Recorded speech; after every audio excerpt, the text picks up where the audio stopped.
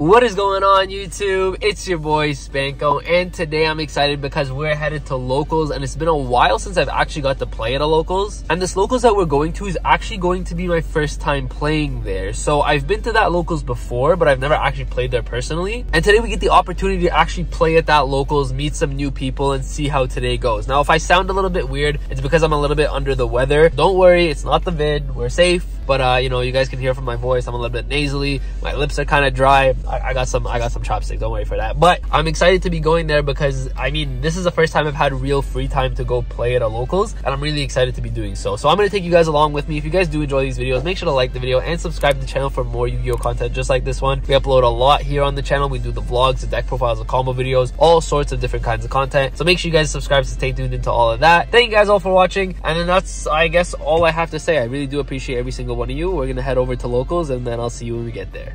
All right, so we're at the locals. We're here at Upper Hand and uh, I was getting ready, talking to the guys, meeting some new guys, you know, saying hi to some people that I know already. And bro, I'm a little bit stressed. So today we brought dinos. And if you guys don't know, if you guys have seen my dino list, it plays a lot of the Bystial monsters because you really want to beat the metagame. However, today I was informed that no one's to be on tier because everyone's playing to get ready for Photon Hypernova. I don't know what it is, but apparently there's no tier limit players here. So now I have eight cards in my main deck that is absolutely dead. Now the locals hasn't started just yet, so I technically can change the deck. And I know you're not supposed to change decks, you're not supposed to scout, you're not supposed to do that kind of stuff. But they informed me that it's not a tier day, so I think I'm going to change up my deck. The thing is, I don't have my other cards on me. I don't have my Imperms, my Veilers. I don't have my other hand traps on me. So I got to figure out what to put in my deck. It is go second. It is blind go second. So maybe I put in some cards that help me break boards. I know I got my Fenrirs on me. Usually they're in my side deck, but maybe I can put them in my main deck. I don't even know. But we got to make something up on the spot. Local starts in like 15 minutes, and I got to build something real quick. And hopefully that we can build something that can actually compete with whatever the metagame here is because I was expecting tier. Who knows what we're going to be playing up against? But at the same time, that does give me a little bit more hope. It makes me feel like I won't have to think as hard to win, if that makes sense, right? Because I don't got to play against tier. But at the same time, my deck's not ready. So I'm going to go back in there real quick, build the deck, put it together, hopefully get some feature matches for you as well. And uh, yeah, I, I mean, we'll see what happens. I'll give you guys an update when I can. So game one in my round one, we're going up against Earth Machine. I set up full combo. Conductor for 7k with Dugaris is just so broken and we go for game. My hand's not very good. Uh, almost want to drop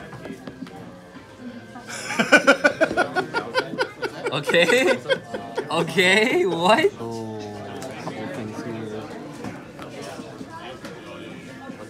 I'll reveal some Reguluses. Yeah, I'll just reveal three Reguluses. Go ahead and cut so I can draw my two.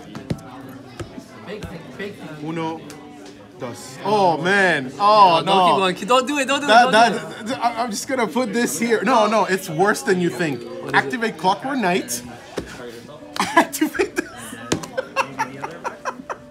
So here you guys are going to see we're going into game 3. I'm going to get my full combo off. I opened Giant Rex, so when you open Giant Rex, it's hard to go into Logia or Dolka. So here we're just going to end on a Savage, plus an Apollo with 3 negates, as well as a Conductor and a Petit Pteranodon. This way we can go into Pancratops on my opponent's turn. But with this many disruptions, like you're going to be winning the game anyways. It's one, two, three, four, five different disruptions.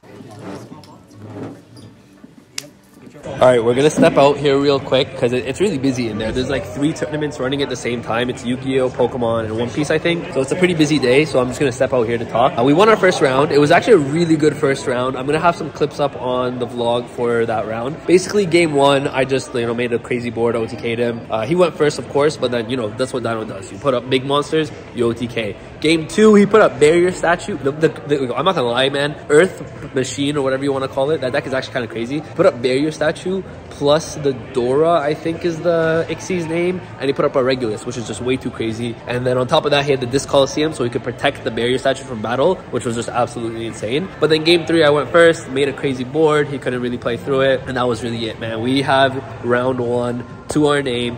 I think it's going to be four rounds today. It looks like a pretty big turnout, so we'll see how it goes from here. But getting round one against a rogue matchup like that is actually pretty good in my opinion because the deck's not actually technically built to beat those kind of decks. So because Dino could beat the decks that it's really not built to beat, if that makes sense, I feel a lot more confident about potentially winning our future matchup. So we'll see how it goes from here. On top of that, we played against our friend Victor, who's a really nice guy. So it was just a really fun round overall. All right, so I didn't get too much footage of game one, but he won game one. The board was unbreakable. He had Miracle plus Conclave plus Bagooska. Game 2 here is just Fenrir beatdown, so we end up getting game 2 with Fenrir and Anti-Spell. Game three, he sets up pretty much the same exact board. I have the Cosmic Cyclone. He ends up actually negating the first one with the Miracle. So I only actually end up getting one Vanish. And then I end up using Imperm on the Bagooska, which is why I'm allowed to combo here. And you guys are going to see, because Crystal Beast is such a control-based deck, we were actually getting pretty close to time. And because we were getting close to time, I knew I had to do as much damage as possible. You guys can see I'm at 6,000 life points. He's at 2,700. And so I was just trying to push for as much damage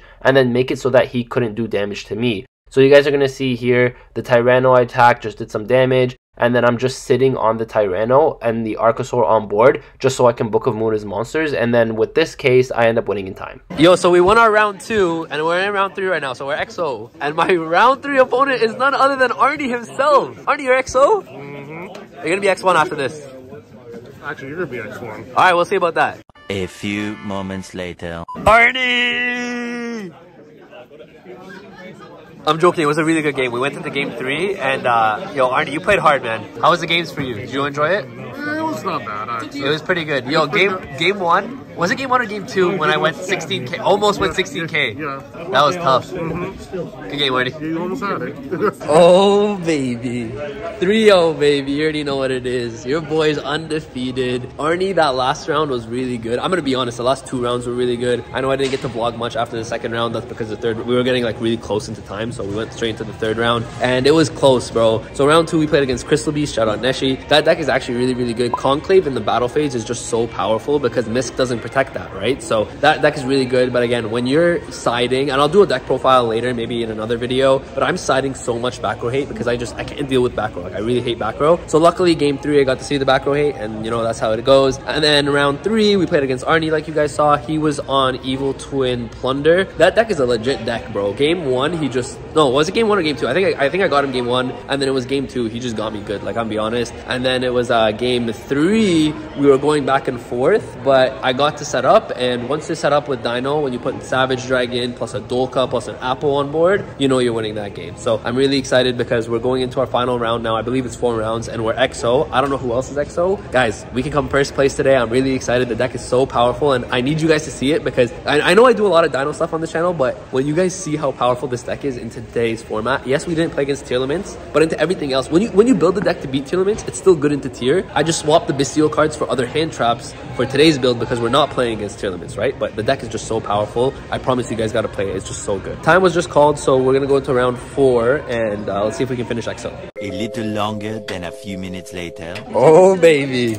XO oh, in four rounds. That last round was against a great player. His name was Cody. And man, that was tough, bro. He was insane. But we ended up winning it in game three, and that was crazy. So he was playing Bystial Dragon Link. And bro, that deck goes so hard. But the funny thing is, there was times where he had like three Bystials in his hand. But unless you're hitting, there's there's not many cards in Dino in general that can get hit with the Bystial cards. So he just kept them in hand. And every time he would use them, guess what cards we have? Conductor. And so every time he had a monster on the board, it was just free fodder for Conductor to keep attacking, keep doing damage. Bro, it was just, I don't know, Exo today with Dino again, bro. I keep winning with this deck. This deck is insane, I'm telling you guys. Yes, we didn't play against Tearlaments, but again, you would build the deck. I'll show you guys the deck profile. You would build the deck to play against Tearlaments. You just play the Bystials over the hand traps that I chose to play. So for example, I played three Imperm, three Ash, and uh, two Triple Tactics, and that was eight cards, but those eight cards would be Bystials against the Tearlament matchup, right? So keep that in mind. This deck is insane. We're XO,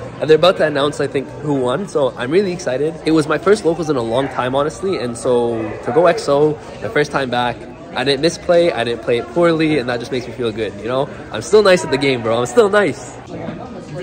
All right, Yu-Gi-Oh players, I have your standing.